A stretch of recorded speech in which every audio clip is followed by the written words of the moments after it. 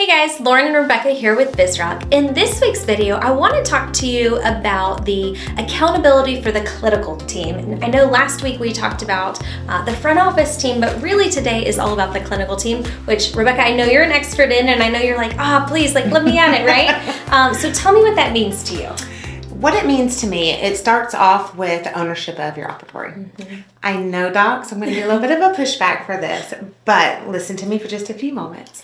Um, if you actually try this and implement it for just a few weeks, you will see the outcome. You're like, this is a lifesaver. Mm-hmm. It helps with having accountability with all the team members in the back. So it starts starts off with owning their operatory. Yes. And it's not just the doctor's appointments that you're owning, it's the whole operatory in itself. So it's going to be stocking and making sure everything is clean. The floors are clean at the end of the day and in between your patients. It helps the schedule run smoother.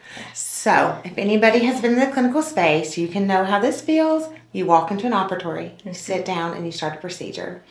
Your teammate helped you by setting up, which is wonderful. Thank you, team member but you go to grab something that is not mm-hmm. out and then you realize oh my gosh i'm out for mm-hmm. example a cotton roll mm-hmm. most basic things you go to grab it and it's not there it's like that slight moment of, oh man, mm-hmm. we missed the mark.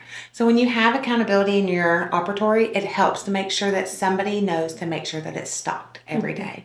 We, so. we never get pushback on the hygiene side, right? Like doctors are totally on board typically. I mean, we do have a few practices we've worked with over the years where they're like, look, guys, I think every type of team member should be able to operate under under every single operatory. And it's like, yes, they should be able to, but what's best for the flow of the practice, um, efficiency in the office, yeah, and accountability, which this whole video is on accountability. So, okay, hygiene is like, okay, I hear you guys. Like the hygienists need to own their operatory. But Rebecca, you probably get more pushback from doctors on assistants owning I operatories. Do. But it's just what you said. It's going into a drawer and there's something missing. Um, can you tell me what happens in a practice when an assistant does own their operatory? Like what yes. that office could really look like? Yes. So when we have assistants in hygiene that mm-hmm. owns their own operatory, the office flourishes. Yes. So you're able to carry a schedule that is packed to capacity without the stress of that. Yes everything runs smoothly. And what I'm trying to tell you is you've got somebody that is like, this is my operatory. I want mm-hmm. it to look like X, Y, and Z, and it's done. Yeah. That's the biggest thing is for the patients to walk in be like, oh, this looks amazing. Everything is set up wonderfully. Mm-hmm. My assistant's not getting up and down. Yes. That in itself is major. Mm-hmm. You don't want to have to get up during a procedure. You never want to leave a doctor alone. Docs, I know that a lot of you like to work on your own. That is wonderful. But for protection for yourself, I always try to ask my teams to never leave a doctor mm-hmm. alone in operatory. So yes. having the, the things that you need and having the room stocked is going to aid in that. Love that. Awesome. Um, and now sometimes some of our practices, they want a lot of stuff in their operatory. And you know, some of our practices are really creative with all the different things that they can fit into their operatory. Uh, we call that clutter. We do. Um, which my rule of thumb is if it looks like clutter, acts like clutter, guys, it's clutter. Um, but can you kind of touch on clutter a little bit yes. in the office? Yes. So when you're in your operatories, I always suggest your workstations being the counters on the side mm-hmm. of the 12 o'clock unit, stay clear. Yes. We have aerosol spray. We don't want anything mm-hmm. getting on stuff and then patients touching it. Yes. So it comes to just like the video we did last week. We can't sanitize paper. So it's very, very hard when we have a ton of brochures on both sides mm-hmm. of our 12 o'clock units. And then next to the doctor, we have our sink with the cups and the mouthwash and all the things mm-hmm. that we're trying to help with our patients, which is wonderful. It's nice to be able to have those things available, but we can have them available in a nice little closed container and just put a few items in there. Yes. If you want some material for your patients to read in between when they're having to wait on the doctor for a hygiene check or just when they're getting numb. That is perfectly fine to understand, but let's lay out something fresh for every single patient, just a brochure or two, or have mm-hmm. something playing on the television. That way we can keep our counters clean. And um, there are so many different programs you can get that are out there that will be customized to what the mm-hmm. doctors have available in the office that can play on the television so that all of our patients can be educated. Love that. And then it's in a digital format. And like you said, we don't have to worry about having to wipe things in between. We can have all of those brochures put up. And if a patient says, hey, I want to learn more, we can pull out a fresh new brochure yes. and gift it to them. You can. The last thing I want to talk about is the floors. Ah. Um, I touched on that a second ago um, when I was just talking about keeping everything tidy.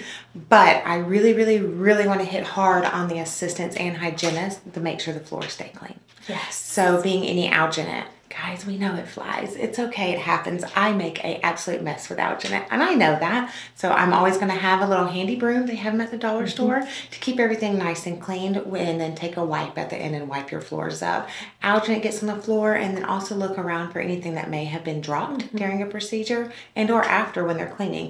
Cotton rolls, two by 2s mm -hmm. a suction tip, things fall on the floor. It's mm-hmm. okay, it happens, we're all human, but just making sure that we pick it up in between patients and we don't leave anything down for the next patient to see when they walk in. Um, last thing on floors, will you talk about mopping in the office? Because this is kind of a fresh one for us. We were recently in an office and they didn't mop at all. I think they said once a week. Once a week. Which I think you and I were both cringing inside. We tried not to say anything and then we addressed it at the end of the day. But will you talk about that after large procedures and just as you wrap yes. up your day? Yes. So it's very important. Every single day your floor should be sanitized. Yes. So if that means mopping, mopping them every day or mm-hmm. getting down, our operatories, guys, are small. They're not mm-hmm. big. Some of them are a little larger, but none of them are huge.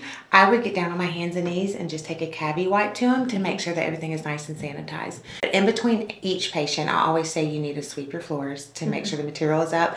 And then at the end of every week, depending on how often your operatories use, the um, rollers on your chairs. They pop right off, guys. I know most people kind of turn their chairs upside down, the assistant mm-hmm. chairs and the doctor's chairs, and they wipe the wheels because they do leave a black film on the floors. But you can just pull them right off, stick them in your sink overnight, one part bleach, two parts water, and it soaks all that gunk. A lot of times it's composite that's on the bottom mm-hmm. of the chairs, and it soaks it off. Then when you come back in the next working day, you just put them back on and go on your way, and your floors stay a lot cleaner. I love that because, you know, you've said it a couple times, and I know you've said it it in multiple videos, but sometimes in dental practices, we forget at the end of the day, we are a medical mm-hmm. facility and it's our yeah. job to provide a clean and sterilized experience for patients, yes. right? Yes, so important. Just keeping it clean and tidy. And it just makes our lives easier in the clinical space in the back just to have it where we're on a routine. Love it. So as always, guys, we're here to help and serve you. So please reach out to us if you need additional help. Otherwise, we can't wait to see you and serve you soon.